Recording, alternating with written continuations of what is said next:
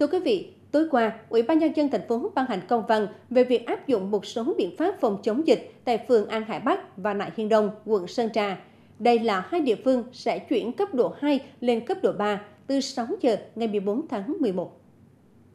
Theo đó, đối với phường An Hải Bắc áp dụng giới hạn từ phía Bắc, đường chẩn cầu sông Hằng và mép phía Tây đường Cô Quyền đến giáp ranh phường Nại Hiên Đông. Đối với phường Nại Hiên Đông, áp dụng toàn bộ phường. Ủy ban nhân dân thành phố và Ủy ban nhân dân quận Sơn Trà chủ động quyết định và chịu trách nhiệm xác định vùng nguy cơ để áp dụng biện pháp hành chính theo cấp độ như đề xuất trên quy mô nhỏ nhất nhưng bảo đảm yêu cầu an toàn kiểm soát phòng chống Covid-19. Trong trường hợp đặc biệt hoặc cần thiết liên quan đến các hoạt động, trong đó có hoạt động y tế và các biện pháp hành chính, Ủy ban nhân dân quận Sơn Trà căn cứ tình hình thực tế chủ động quyết định cho phép hoạt động đối với từng nhóm đối tượng nhưng phải bảo đảm các biện pháp an toàn linh hoạt, tổ chức điểm tiêm vaccine phòng COVID-19 cho người dân tại phường An Hải Bắc và phường Đại Hiên Đông, thực hiện tiêm ngay tại địa phương, bảo đảm an toàn tiêm chủng và an toàn phòng chống dịch. Ủy ban nhân dân quận Sơn Trà triển khai chỉ đạo thực hiện một số biện pháp cụ thể đối với người dân từ vùng cấp độ 3, vùng cam, thực hiện nghiêm quy định 5K,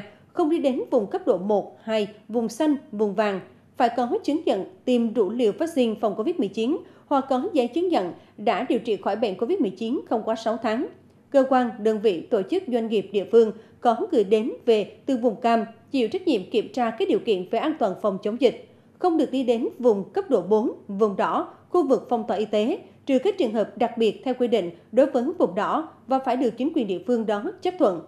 Khi tham gia các hoạt động kinh tế, xã hội, văn hóa, thể thao, phải bảo đảm điều kiện đã được tiêm đủ liều vaccine hoặc đã khỏi COVID-19 trong vòng 6 tháng. Tổ chức hoạt động tập trung trong nhà, ngoài trời, bảo đảm các biện pháp phòng chống dịch. 100% người tham gia đã được tiêm đủ liều vaccine hoặc đã khỏi bệnh COVID-19 trong vòng 6 tháng. Trong đó hoạt động trong nhà tập trung không quá 20 người, hoạt động ngoài trời tập trung không quá 50 người tại cùng thời điểm. Tiệc đám hiếu hỷ liên hoan tổ chức tại nhà riêng tập trung không quá 20 người tại cùng thời điểm. Nhà hàng, cửa hàng, cơ sở kinh doanh dịch vụ ăn uống, gọi chung là nhà hàng quán ăn, chỉ được phép bán mang về, không được phục vụ khách tại chỗ. Chợ truyền thống, chợ đầu mối chỉ được bố trí luân phiên tối đa 50% số lượng gian hàng, quầy hàng, có vách ngăn giữa người bán, người mua và thực hiện đầy đủ các biện pháp phòng chống dịch theo hướng dẫn của Bộ Y tế. Cơ sở kinh doanh các dịch vụ có nguy cơ lây nhiễm cao như vũ trường, karaoke, massage, quán bar, internet, trò chơi điện tử, làm đẹp, casino, bia tiếp tục dừng hoạt động. Cơ sở dịch vụ cắt tóc, gội đầu phục vụ không quá 3 người cùng thời điểm. Cơ sở kinh doanh dịch vụ khác, chuyên nhà hàng, quán ăn phục vụ tối đa 20 người